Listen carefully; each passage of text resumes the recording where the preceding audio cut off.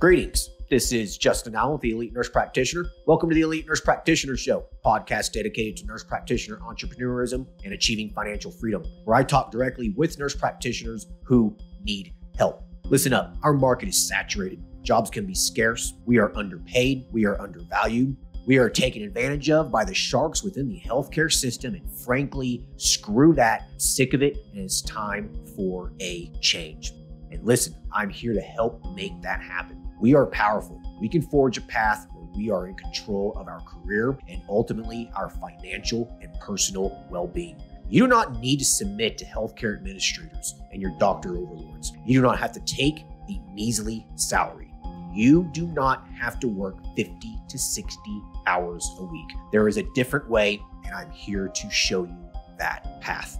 This podcast is raw and unfiltered. I have not talked with nurse practitioners in this podcast prior to the call outside of an email exchange to schedule the episode. What you're about to listen to is a consultation session between a nurse practitioner and myself. It is real, it is unscripted, it is unplanned, and I have no idea what we're going to talk about. Anything and everything can happen during our conversation. The nurse practitioners in these episodes are struggling with an issue in their professional or financial life, and they have reached out to me for help. My goal is to help the nurse practitioner with actionable advice that will enhance and improve their professional, business, and financial life. My other goal is to hopefully help my nurse practitioner sisters and brothers build a more productive, powerful, and free life. So, I hope the content and information within these podcast episodes does just that. All right, onto the episode.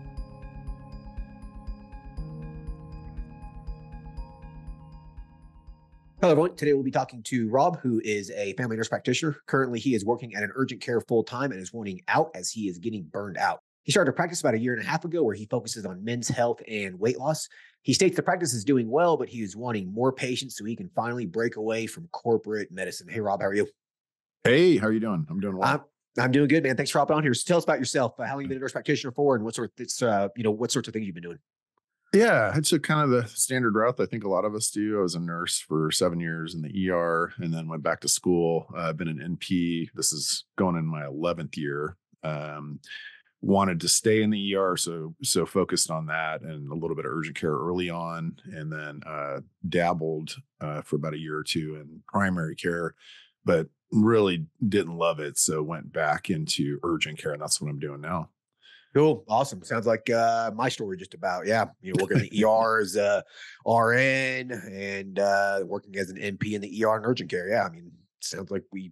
Yeah, I think it's a common story, especially in male NPs. A lot of us yeah. have gone that route. So yeah, yeah, yeah, yeah, yeah. That's an interesting. uh That's an interesting point. I, that's what I see often. It seems like more men NPs go into the ER and urgent care settings. Uh, but uh, but there's more females, so obviously probably there's more females in general in the ER urgent care. But uh, but yeah, right. that seems to be kind of common amongst men NPs. Yeah, um, we love that uh, adrenaline fix, you know.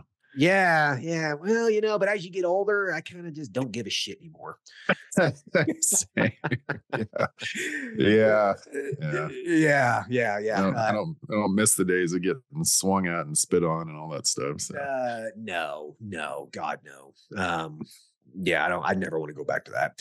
Um, yeah. Anyways, though. Okay, so uh, so you work in urgent care right now, full time, and you started a practice about a year and a half ago, uh, where you're doing some men's health and some weight loss. So tell us a little bit about that. Yeah, so I uh, I started out with a local on the side, pick, got picked up with a local men's health clinic, and I just didn't really jive with how they were running things. Uh, it seemed really expensive. Um, I had been a patient of theirs actually prior to that. Uh, so I thought, you know, I could probably do this on my own. And then came across a, a, friend of mine introduced me to your courses, and I went through the men's health course and thought, man, let me just do it. So uh, started off with nothing, very small. Uh, had man probably 15 patients for about the first six months or something. Was just really doing this completely on the side on my own. Um, and then after about a year, I hired someone to just help me manage all the administrative stuff and added a few more state licenses and then doubled and tripled the number of people in that next six months. Um, and uh, and now I'm just kind of at a place where this is going well enough where it supports itself. Um, I, I I like doing it, and I would love to get away from the hospital system corporate medicine and just do this but i don't i'm not in that sweet spot where i've got enough volume of patients to to make the switch so i reached out to you to see if you could maybe help me uh, Yeah, add, add more volume there so sure, sure. Okay, so let's first start with um with income then I guess. Uh well, one one question. So you took the men's health course. Do you feel like it helped you really just kind of get your head set and you know t- to do it? Hundred percent, yeah. Yeah. It, it's kind of you know soup to nuts, every detail from beginning to end, everything you need. Uh, Yeah. I mean, the, all all the courses, and I don't you know, and I don't need to pat your back this much, but uh, I think all the courses are fantastic. I've bought Yeah. three or four of them, and they've all been incredibly helpful. Okay, uh, good. with with each with each topic. So. Okay. Okay, And I love Yeah. that you added the CE option in there too. That was great. Yeah, yeah, yeah. That was a real pain in the ass to do, but I'm glad I we did it. bet. I Yeah. bet. Um. Okay. Cool, man. Well, I just wanted to make sure that uh, you know you got some value out of it, and you know we I, I Yeah. kind of just like to develop a straight to the point kind of course. You know, if you want to learn Yeah. really, really get into the physiology and stuff, then you know go read the book about it. But we want to tell you just, Right, just how to do it. This is how you do it. Let's get started. You know. Um. Okay. Cool. So yeah, just uh, as an aside, I still go back and reference that, you know, probably once a week. I'm like, you know, Oh. scrolling through my notes, like, uh, what, what did he say about these peptides again? You know, that kind of thing. So, yeah. but Okay. Cool. Um. All right. Well, anyways, uh, let's start with income. So, uh, where are you at personally here? Like, I guess what's what's preventing you from diving into this practice on a full time basis? And I'm assuming it's probably coming down to money. Yeah, it's money. If I, you know, if I was independently wealthy, I'd just pursue this. I love, I love practicing medicine. I, I've said this, you know, many times in the past couple weeks. If I sitting in front of a patient is my calling, as soon as I leave that room and I have to deal with managers and whatever, all the admin and charting and BS, then I'm, you know, that's what I hate. Um, so I'd 100% do this if I could pay the bills and mortgage and all that stuff and the student loans from becoming an NP. Um, uh, so yeah, money. It's just just about the money and and and my vision. And I don't know if it's correct. That currently is about volume of patients. So the the more volume I have, the more money I'll get, and then you know I can solely depend on this once I hit a that sweet spot of volume. Okay. So, with that said, uh, how much money are you bringing into this uh, into the clinic right now? the the men's health weight loss clinic makes about five to six k a month Okay. um in revenue and so and not how much? How much of that's profit? very little with the volume i have probably just a few hundred dollars um after after expenses so Okay. So you're at that like you're at that break even. Like what Oh, you're Yeah. Yeah. okay. So the practice is paying for itself. You're not having to put a It lot of money into this. Okay. Perfect. correct Right. So you're at that point now where it's like, okay, every new patient, every dollar that comes in is basically into my pocket at this point. correct yeah and Yeah. uh and instead of taking it i've now now i'm trying to pump it into marketing which to be very honest i didn't do any marketing at all until about a month and a half ago i was only only doing word of mouth uh referrals so Okay. so it, so yeah Okay. And and and how many patients do you have? uh again it's about a, i have 125 on the books but only about 50 to 60 right now are active patients Okay. Okay. Gotcha. So, dude, that's that's pretty good for word of mouth. I mean, pat yourself on the Yeah. back. Like that's pretty Yeah. good. Okay. Um. Okay. So, how much do you need to make to cover your personal expenses so you can get out of the urgent care? And mind you, this is not like 401k contributions, right investing, you know, stuff like that. You know, that stuff will come a little bit later. But like, how much do you need to just get out? yeah if i had made 10k a month i, I could get out Okay, 10K easily. in Yeah. your pocket. yeah Pre-tax, post-tax. Um, Pre-tax, you're looking pre-tax, at like post post tax, probably eight eight and a half. Okay. So Okay. Okay. So about eight thousand bucks is what you would need when, yeah, when it's all it'd- said and done. It'd be a it'd be a tight kind of tight in the bootstraps kind of lifestyle, but that would be fine. I But could do you- that. You could do it for 36 months, Yeah, right? I absolutely, absolutely. Right, right, right, right. Yeah, okay. Yeah, I mean, it's not the end of the world. It's not a permanent No. thing, you know? no, yeah. no, no. It'd be, I'd be fine. I'd be just fine. So You know, yeah, A lot of people think it's permanent, you know? Oh, God, it's only for a few months, you know? Um, right. Yeah.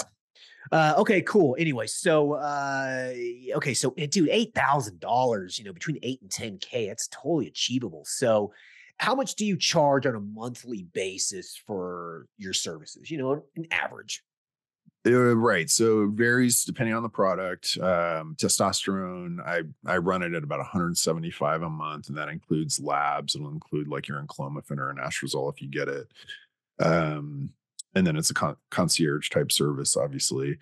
Uh, for weight loss, I I dose adjust the pricing. So I start semaglutide at uh, 180 at 0.25 milligrams, and go up by 25 bucks every time there's a quarter milligram dose increase. Um, and then the office visits themselves are 65 bucks. Okay, so each patient on a monthly basis, you would say 150, 200 bucks a month is about what you're averaging. Right. Right. Yeah, yeah, okay. So you know, you do the math here, right? I mean, you'd only need 75 patients basically at 150 bucks a month to get that $10,000. Right. It's not that Yeah. much, No. really. You know, it's no, it's not.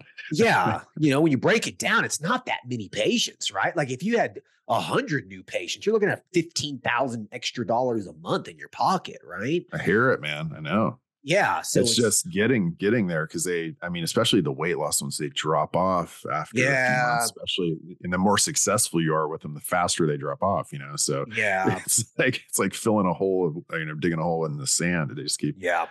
Filling back in. So but Yeah. I hear you. Yeah. I don't need that many. Just just No, gotta get them. Yeah. So, you know, that's a good point, right? So the weight loss, weight loss is great money, but it is a very hard business to have Mhm. as a long-term thing because patients come and go. They lose their weight, they leave, Exactly. right? Exactly. Yeah. Yeah. So, what can you do to keep them as a long-term patient? You know, that's why you should be doing comprehensive lab work, selling them on hormones, peptides, et cetera, to try to keep them on board for other stuff, right? Um, right. Okay.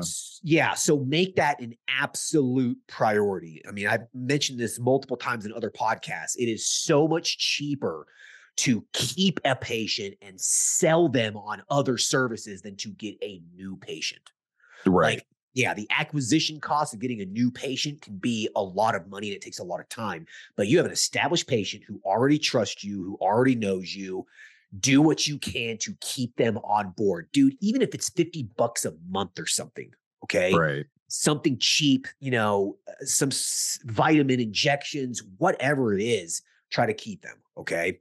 Okay. Like once they leave, they're gone. It might be difficult to get them back in the door, right? right. Exactly. So make that a priority. Okay. That's why that's why you should have some other services as well. Hormone replacement therapy, vitamin injections, Right, peptides, anti-aging products, direct primary care, whatever it is that you got to do. Yeah. Okay. Yep. Yeah. So when you have a weight loss patient, be doing comprehensive hormone evaluation on every single one for the initial blood work. That's why I recommend, you know, in our lab panels that we have through Access Medical Labs and Mhm. um, in the courses, you know, for like a weight loss evaluation, you need to be checking thyroid, testosterone, estrogen, progesterone, et cetera. Right. Yep. Yeah. Yep. Growth hormone, you know. So check those things. And then that way you can hopefully get yourself a long term patient. So that's one way to keep the patients that you have in the door. Okay. And Okay. then patient acquisition, right? So that's going to be where you're getting a lot more new patients. You need to be focusing more on, um, you know, weight loss is fine as long as you can figure out a way to keep them, you know, on board for a lot longer, um, not this three to six month kind of stuff. Uh, and that's where you know hormone replacement therapy, and you know this, you do men's health. Like once they're a patient, they're pretty much a patient for life. Yeah. Yeah. Those guys are great. I love them. They're just, Yeah. they just are maintenance forever. Maintenance So, forever, and it's so yeah. easy. You know, Yeah. Very easy. so easy. You're talking to these people every six months for 15 minutes. Basically. you know, Yeah, some like- some of them I have to chase them down to get them to talk to me. I'm like, I, I kind of do need to talk to you sometimes. yeah, nah, I hear you, man. I'm like, yeah, you, I mean, you have to see them every six months because it's it's a controlled substance, right? Right, You know, right. You can't give right. them a refill unless you see them every six months. Right, But like some of these guys, you know, they'll get their refill and they'll time it right. So, you know, you don't talk to them in eight or nine months instead because they're just they're right, right, right. They're dodging you. They're not getting their follow up lab work, and it's just like okay, but once you're out, you're not getting a refill. You know? Yeah, yeah, yeah, Yeah, And they've got then- that mentality like, well, I mean, you fixed me. I don't need to talk to you ever again. Yeah. No. exactly. It doesn't work quite like that. Yeah. Uh, but yeah, but then you talk to them at the nine month mark, you do their blood work. It's completely normal. Everything looks fantastic. Okay, cool. See you in six months. Like, yep, Yeah, exactly. yeah, and the Yep. phone call lasts five minutes. You know. Um, yeah, that that is the ideal. I mean, that to me is such the the the profit margin is so high compared to weight loss, which is just a battle constantly. Yeah. So Hundred percent, man. Hormone replacement therapy is such a profitable service. Um, when you factor in the time investment, you know. right, exactly. Yeah. Yeah, yeah. Um, so yeah, so that should be your priority, right? Is the Right. hormone replacement therapy. Like that's where you should really, really focus. Do you want to see men only, or do you want to do female HRT too? Yeah, I'll, I'll be very honest. Uh, I would see anyone for hormone replacement. I don't feel as comfortable with the women, but that's more of just kind of a knowledge base issue and a little insecurity on my part. But I have I have a couple female hormone uh, replacement patients, and Yeah. um, and and I would see beyond. I mean, you know, however you want to interpret that. I'm in Seattle or in the Seattle area, so there's lots of other people that want hormones. I'd be happy to see. Um, Sure. I have no no problem. Uh, Okay. so I, Yeah. don't dis- I would not discriminate if there's money going to the bank. You know. Sure. So, So your website then should say that, you know, men's health, women's Yeah. HRT, transgender HRT, Yeah, whatever. exactly. You know? Yeah. yeah. So, um, so yeah, learn the ins and outs of it, you know, and and I, and I don't, I don't want to get, uh, you know, I don't want to have any negative comments directed towards me on this, but with like female HRT, you know, I treat quite a few females at my men's health practice, like, uh, you know, the wives of patients, basically, Right. or Yep. like the friends of a patient or something like that. And I predominantly just treat them with a little bit of some testosterone. Like Yeah. I usually don't have to give them anything else, estrogen, progesterone, especially like the postmenopausal women. It's like it's the testosterone that okay. they feel better on, you know, Okay. and they don't complain about of anything else. Just a very low dose testosterone, not that much, five milligrams a day of some topical testosterone. It gets their level, their total testosterone up to, you know, 75 to 100, free testosterone of, you know, three or four, something like that. And they feel fantastic. No issues whatsoever. Like it's it, it's a piece of cake. That sounds easy. Yeah. Yeah, yeah. Now, if you really want to do it and get involved, obviously you need to do the progesterone, the estrogen, that kind of thing too, right? Um, if you want to get comprehensive about it. But I've just found that just a little bit of some testosterone cream for a majority of my female patients seems to be all it really all all they really need. So Okay. Yeah, uh, but I would definitely seek some advanced training. You know, our new updated women's Right. health. Yeah, yeah, yeah. Our women's health course we just updated. Uh, we included a lot more protocols and stuff in, our advanced course. You could take that, or you could do something with World Link Medical or whatever. Um, but uh, but yeah, Run run into the the women are tougher, I think, um, because they they're either totally successful with uh, with hormone therapy or nothing seems to help them. And so those that other side, they really frustrate me because I play around with all the different peptides and hormones and you know even the um, GLP-1 inhibitors and they just don't seem to get any improvement and they get really frustrated you know and I get frustrated and so but um I haven't I haven't in any of them really focused just on the testosterone uh, aspect of it it's been really the mix the topical mix I use Hallandale with you know from your recommendation and they've got a a mix of the estrogen progesterone testosterone Yeah. cream that we I tip I use typically uh, maybe their testosterone levels aren't getting high enough. You know, Yeah, yeah, Um, that's a good they're- good idea. it could be some other issues too ferritin iron levels um, b12 level there could be a variety of different things Okay, yeah so you know get real good comprehensive blood work on that uh, jenny gallagher who did the advanced women's health course for me um, she talks a lot about doing a lot of these other accessory tests like iron uh, you know different b vitamins etc um, really dialing in that stuff because listen dude you can treat a woman you can get her testosterone level up you could optimize her hormones and all of this but if her ferritin is 35 it doesn't matter what Right. you do, she's going to be fatigued. She's not going to feel Yeah. well. You know what I mean? Okay. Yeah, Okay. yeah. So a real comprehensive panel for your female patients will do uh will do a lot for them. Okay. Good. That's good advice. Yeah, yeah.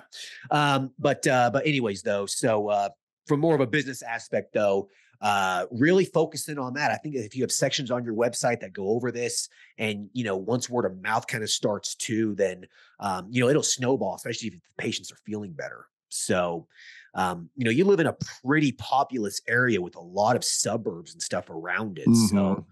there's- exactly. gotta be some uh i guess some some service deserts out there you know that if you could fill in the the need or the gap you should be successful i would imagine Yeah, yeah. I think the um, uh, you had a podcast you you put up recently of a guy that's down in Oregon. I think he's covering Southern Washington, but there's not uh, very many men's health clinics. There's one guy that runs a couple of them in my area, and then there's um, I think a telehealth one that kind of focuses on Seattle. But uh, you know, there's uh, gosh, a few million people in this corridor of Western Washington, and you know, five clinics basically that that focus on men's health anyway. There's yeah. ton, tons of options for weight loss, but um, at least you know online and locally. But so millions of people here and all you need all you need's a hundred. Exactly, you know? Yeah, yeah, when you look at it that way man it's it's not Yeah. that hard right like there's Well, of right, in your area all you need's a hundred like that's not that hard to do right so how do you man. do it right, exactly. how do you get What's the friggin' problem? yeah So,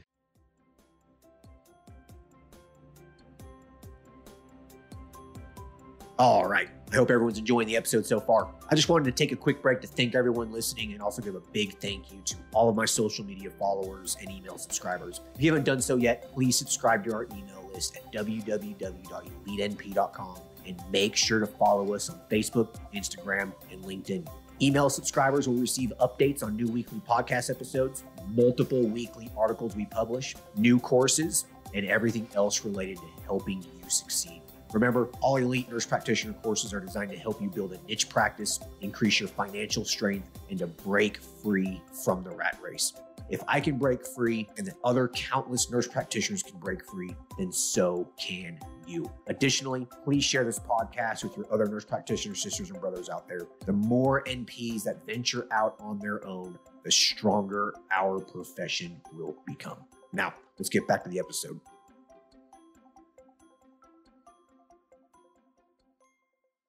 Do you have a physical address or is this just telemedicine only?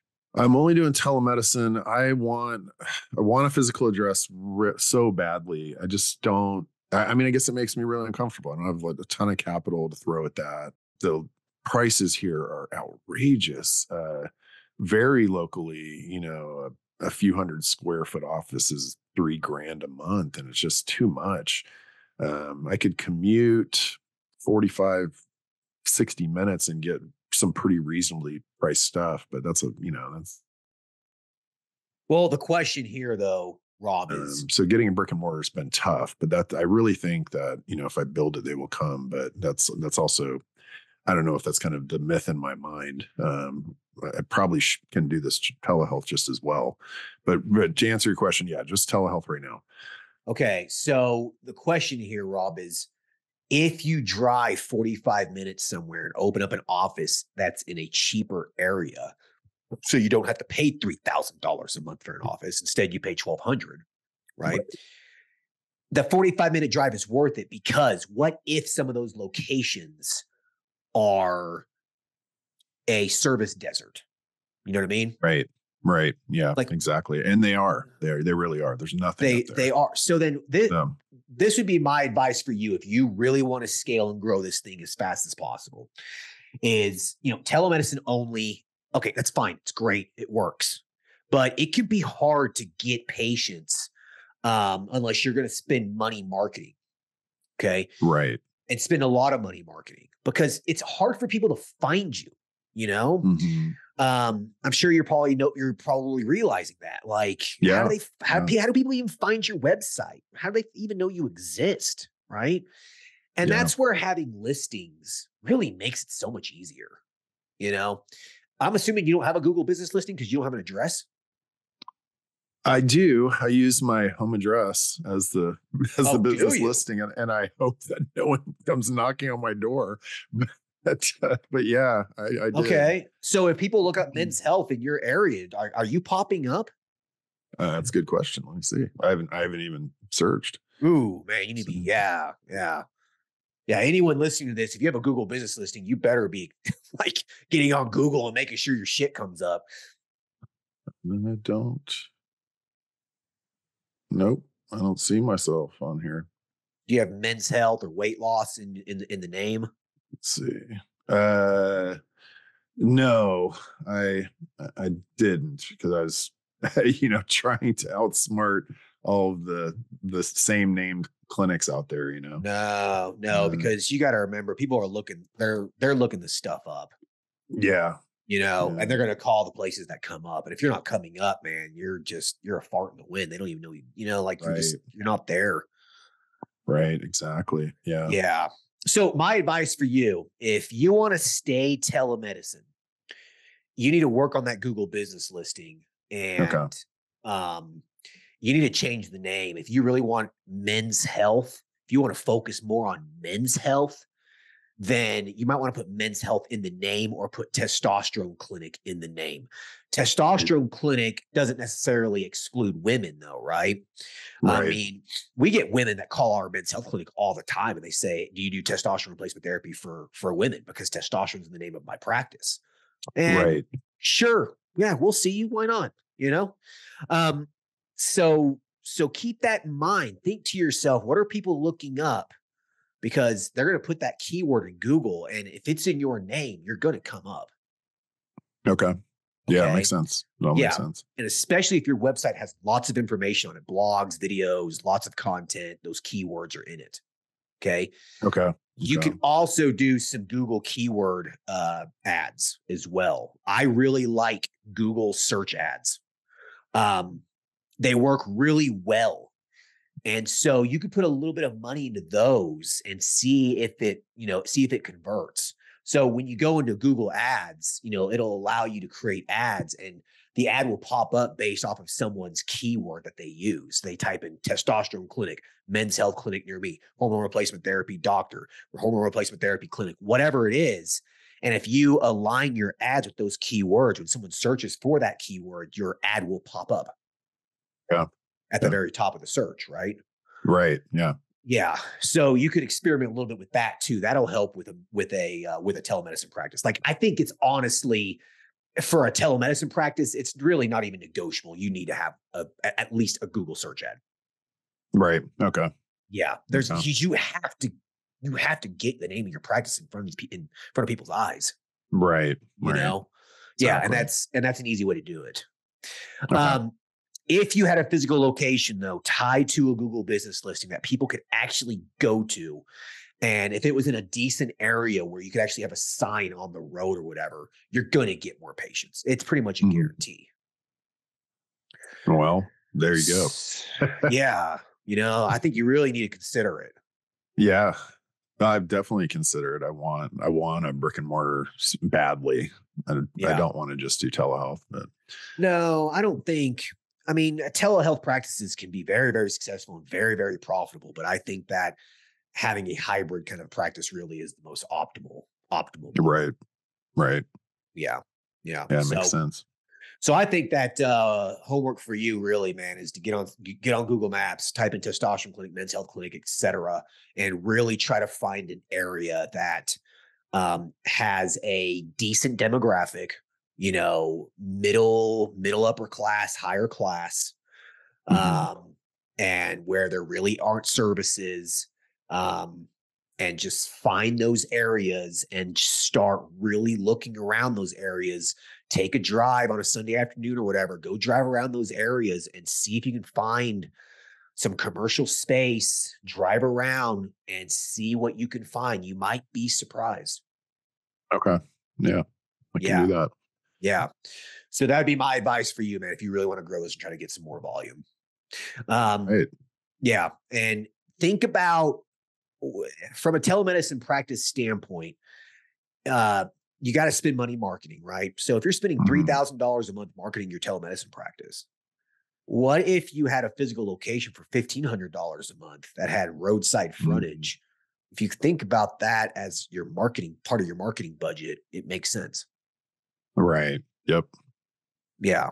So, so you might got to dump some more money into this until you know the increased volume, I guess, offsets the increased expense. Yeah, that's what I figured would have to happen. But Yeah. uh, but I'm down to do it. I want I want this to grow. So Yeah, yeah. I think you're. I, th- I think you're in a good spot, man. If it's not overly saturated, then, and like you said, there's millions of people there. There's gotta be, there's gotta be demand for it. Yeah, I would think so. Um, I I don't I don't know why there wouldn't be, but it's it's ton millions of people and plenty of you know family aged men, middle aged men, 30s and 40s. So uh, the the volume or population that are testosterone deficient is probably very high. So Guarantee it. yeah, Yeah, yeah. Um. So I guess any other questions in terms of like, you know, marketing or getting more patients in the door? Anything else you want to talk about with that, or any any other concerns? What uh what about social media? Do you do you do much with social media or recommend much on Facebook or Instagram, anything like that? Um, like I always tell people, man, it is so hit or miss. Yeah. Um, the thing about social media marketing is that it's typically cold marketing. Like Mhm. you send out this ad to a specific demographic of people in hopes that they're interested in what you're putting in front of their face. right. Yeah. Right. Like, so you basically send the signal out. It's like cold calling, right? It's like being a Right. telemarketer and calling people on the phone and hoping someone bites. It's there's no Exactly. different. You're you're sending out that ad and you're hoping someone bites, right? You hope you get in front of the, in the eyes of someone who already is someone interested in it. Mhm. So that's why I think that you should focus more on the hot lead marketing first. People who are Okay. genuinely in, who are searching for it already. That's where that Google search ad comes in. That's where having, you know, an optimized Google listing with lots of reviews comes in. You know, like you're a guy looking for men's health or someone looking for weight loss and they find your Google business listing, it pops up and it has a hundred five star reviews. They're they're probably going to click on on your business and go to your website. Right. You know, right. and so that's where social media marketing kind of falls off for me. I I just think there's better ways to be spending your money. Okay. Yeah. Okay. Now it does work. Don't don't get me wrong. It does work and it can work. It just sometimes it just really doesn't and so, and you could be spending a lot of money. Yes. Yeah. It really draws you in with the just a little bit a day, you know, but then that adds up. So It adds up. Yeah, really absolutely. does. It really yeah. does.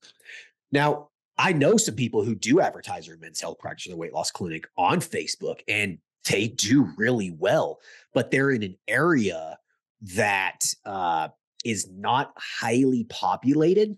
So Hmm. if you're advertising your, you know, you say you're advertising a weight loss clinic in a city of 20,000 people, Mhm. and you know you're spending $500 a month on that chances are that all 20,000 people in this small area are probably going to see your ad over a period of a month Right. Yeah.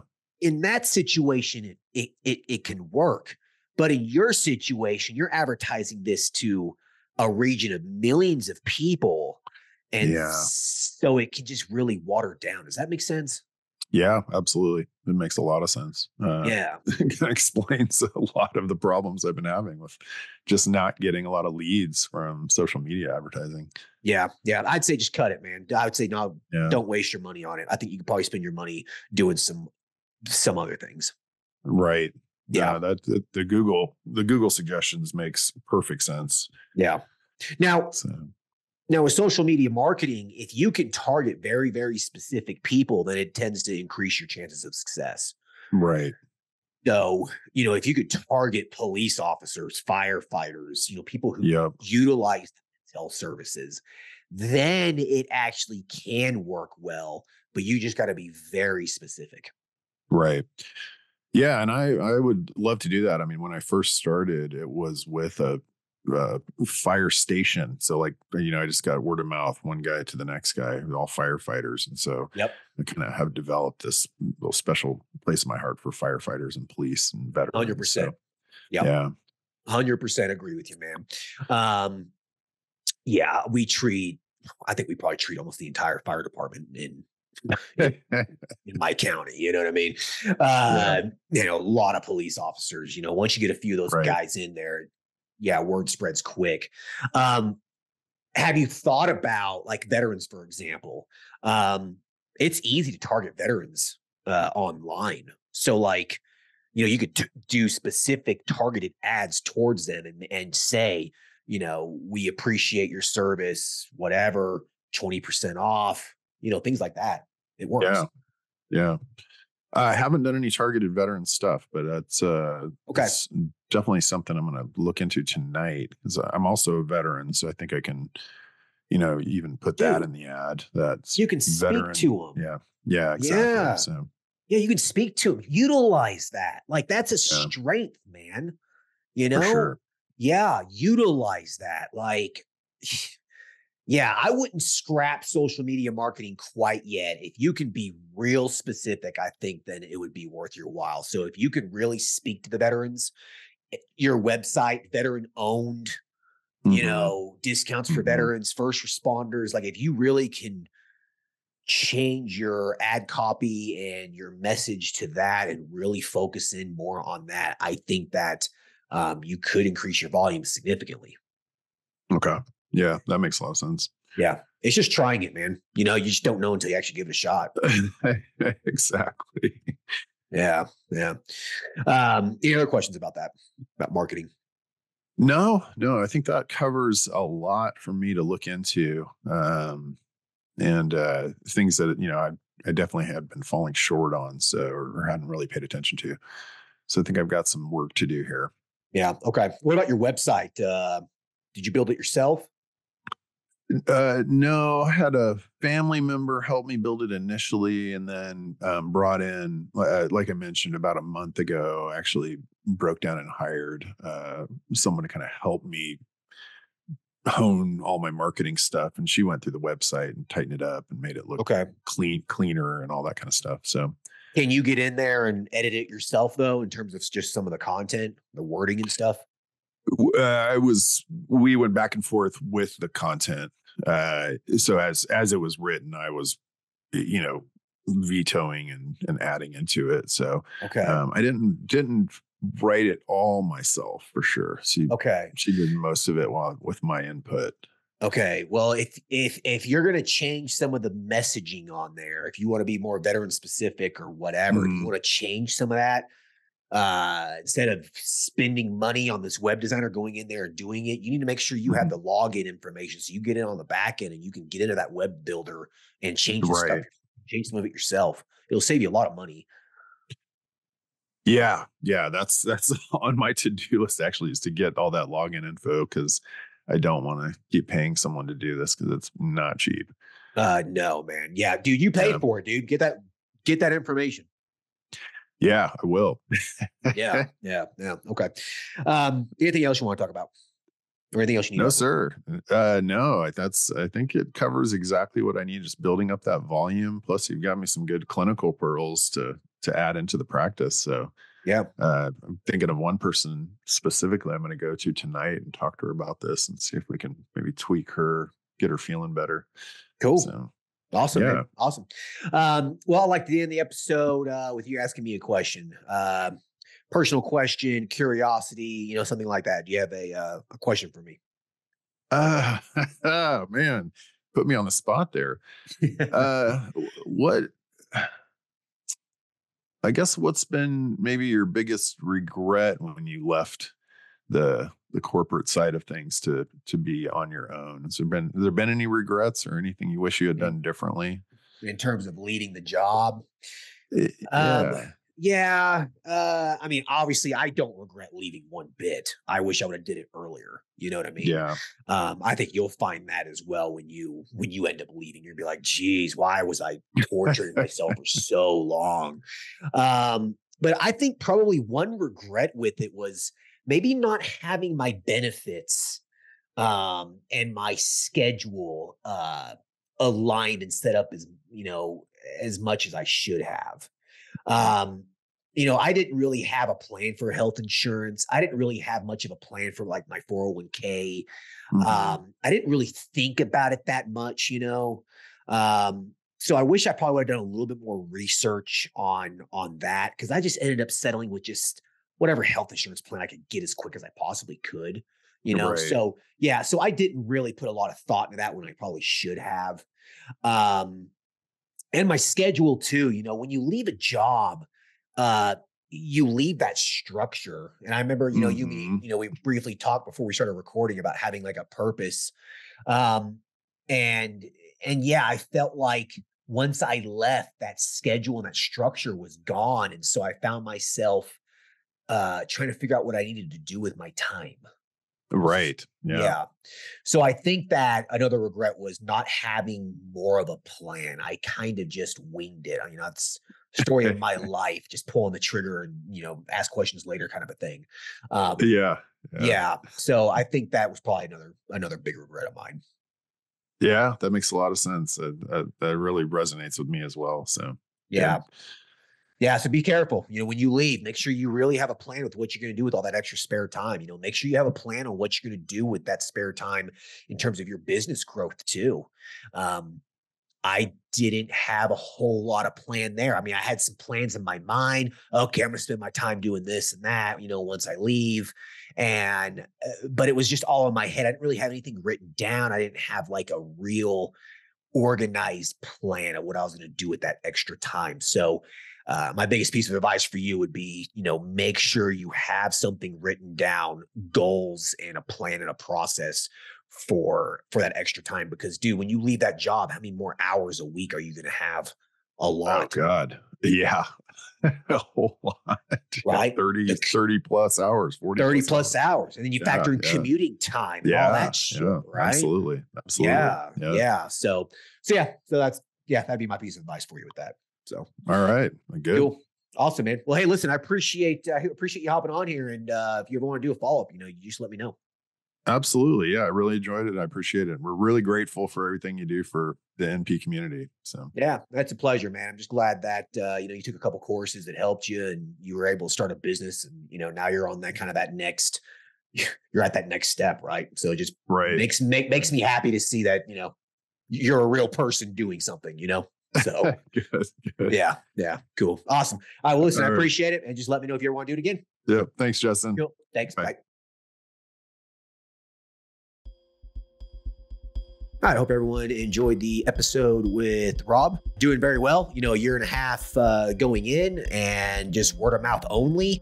Has like 75 active patients. The practice is paying for itself, that sort of a thing. So everything's going pretty well for him. His problem is volume, though. Like, how do you get more people indoors so you can, you know, increase your revenue? I think that's one of the biggest problems that most businesses have. Like, how do you increase the volume of the customer? And it just really just comes down to marketing. I mean, that's just what it is. That's why I always say marketing is the number one function of your business. You have to market, you have to get patients in the door. And so for him, you know, telemedicine only, it can be difficult marketing that business. But unless you have a lot of money to spend doing it, and sometimes you're not going to get a great return on it. So that's why you always need to prioritize hot leads versus cold leads. Okay.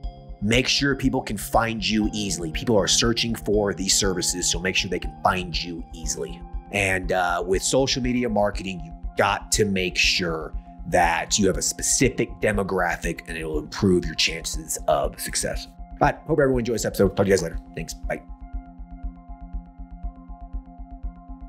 Thank you for listening to the show. Quick legal disclaimer the content of this podcast is meant for informational and entertainment purposes only and should not be used as legal, financial, medical, regulatory, or practice specific advice. For information pertaining to your specific legal, financial, medical, or practice specific needs, please be sure to consult with your lawyer, CPA, medical director, and or your state's practice laws and the most up-to-date clinical guidelines. As always, do your due diligence when it comes to any information found online and in podcast. The content in this podcast is copyrighted by Galaxy Medical Southwest 2023 and cannot be duplicated, rebroadcasted, or reproduced with without our written permission.